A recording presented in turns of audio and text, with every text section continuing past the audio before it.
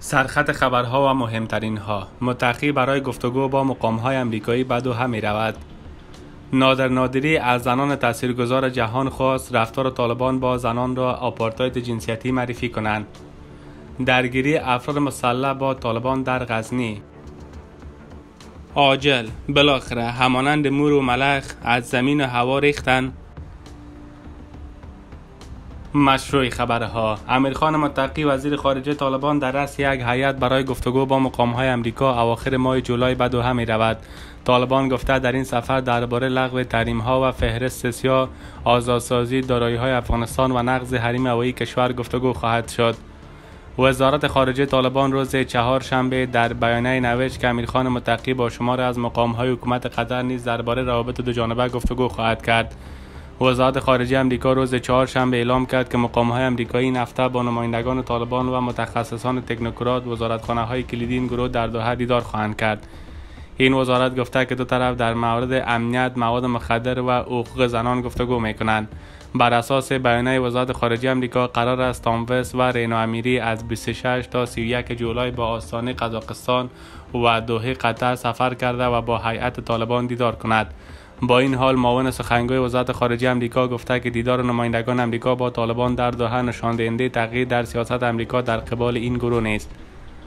ودانت پاتل چهارشنبه گفته است که واشنگتن با طالبان به شیوه درست و وقت منافع امریکا ایجاب کند تعامل می کند نادر نادری از زنان تاثیرگذار جهان خواست رفتار طالبان با زنان را آپارتاید جنسیتی معرفی کنند. نادر نادری پژوهشگر مؤسسه هوور در دانشگاه استنفورد از سیاستمداران و شخصیت‌های تاثیرگذار زن خواست تا توجه جهانی را به وضعیت وخیم زنان افغان جلب کنند. او گفت که آنها با تلاش های خود می توانند رفتار طالبان را با زنان آپارتاید جنسیتی معرفی کنند. او روز چهارشنبه از سیاستمداران و شخصیت های برجسته زن مانند اورزولا فوندرلاین رئیس کمیسیون اروپا هیلاری کلینتون وزیر خارجه سابق امریکا نجلا بودن نخست وزیر تونس خواسته است تا توجهات وسیع جانی را به آپارتاید جنسیتی طالبان به عنوان یک جرم جلب کنند. درگیری افراد مسلح با طالبان در غزنی. منابع ملی در غزنی از درگیری افراد مسلح با طالبان در مرکز این ولایت خبر میدن منابع در صحبت با روزنامه 8 صبح گفتند که اولی ساعت 3 صبح پنج شنبه شب جنگجویان طالبان در دو خانه مسکونی در ساحه شامیر از مربوطات حوزه امنیتی شهر غزنی عملیات را راه اندازی کرده است به گفته منابع در این درگیری که حدود دو ساعت ادامه داشت دو طرف از سلاحهای سبک سنگین کار گرفتند بر اساس اطلاعات منابع طالبان پس از این درگیری سه تن را که باشندگان اصلی ننگرهار بودند بازداشت کردند و چند تن دیگر موفق به فرار شدند. امرالله صالح به شیعیان به جای نوسرایی در برابر طالبان مسلح شوید. امرالله صالح معاون پیشین ریاست جمهوری در واکنش به خشونت طالبان با عزاداران محرم در کابل از شیعیان خواسته است که علیه طالبان مسلح شوند. او روز چهارشنبه در تیویت نوشت رای مقابله با این شلاق زدن نوسرایی نیست بلکه سادگی مسلحانه است. آقای صالح با نه با بازنشر ویدیوی برخورد خشونت آمیز جنگجویان طالبان با شیعیان در کابل نوشته است نمی‌دانم چرا باید برای امام حسین تن و سینه من را زخمی سازیم در حالی که در کوچه و کوچه کابل ملیشه های بدتر از یزید بر مردم شلاق می‌زنند.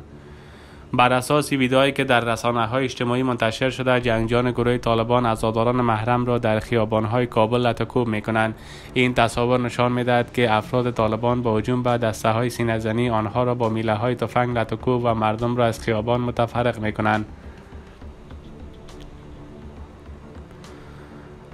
آیا طالبان کتاب می‌خوانند؟ هفت تا هشت ماه بعد از بازگشت طالبان عکسی از یک جنگجوی مسئله طالبان انتشار یافت که او را در یک کتاب فروشی در کابل نشان می‌داد.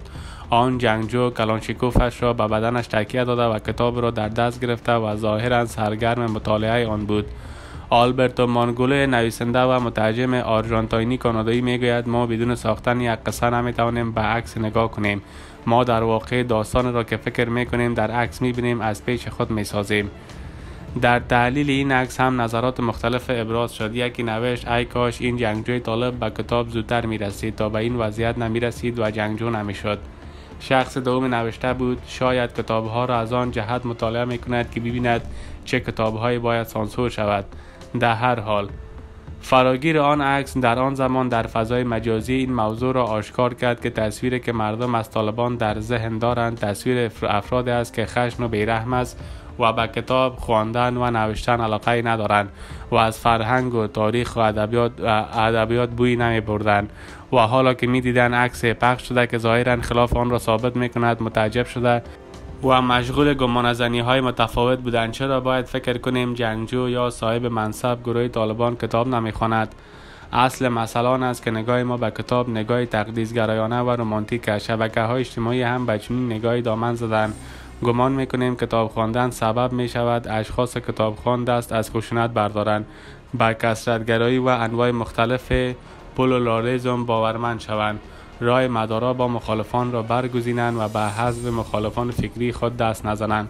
و اگر شخص کتابخان را مشاهده کردیم که نه تنها به همزیستی با مخالفان فکری دعوت نمی کند بلکه عملا به سرکوب آنان می پردازد از شدت شگفت زدگی دهان ما را باز می ماند به هی شک و شبه این نوع برداشت درباره کتاب برداشتی بسیار ساده انگارانه و کودکانه است.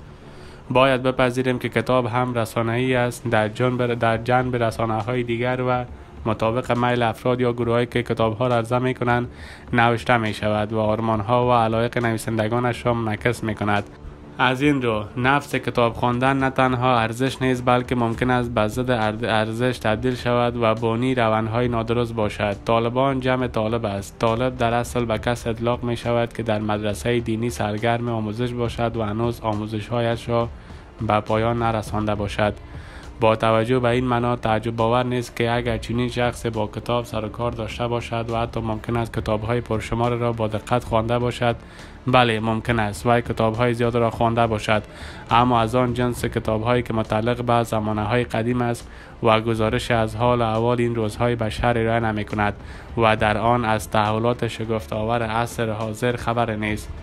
روال معمول این است که طالب کتابهایی را چه به عنوان کتاب درسی و چه در قالب مطالعه آزاد می خواند که مربوط به فقه حدیث تفسیر صرف نحو بلاغت زبان عربی و غیره است. آن هم از منابعی که صدها سال پیش به نگارش درآمده است. آیا چنین کتاب خواندنی ممکن است؟ رهایی بخش و راگشا باشد و برای حل چالش های امروزی یک جامعه راهکار به دست بدهد ضرورت ندارد صغرا و کبرا قطار کنیم و با تلاش طاقت فرسا به این نتیجه دست یابیم که کتاب خواندن با خشونت ورزی خوناشامی استبداد و تمامیت خواهی تعارض ندارد. تشکر که تا این دم با ما بوده تا ویدیو های بعد شما را به خداوند یگانه می سپارم. شب و روزتان خوش. خداوند یار مددگار همه شما باشه.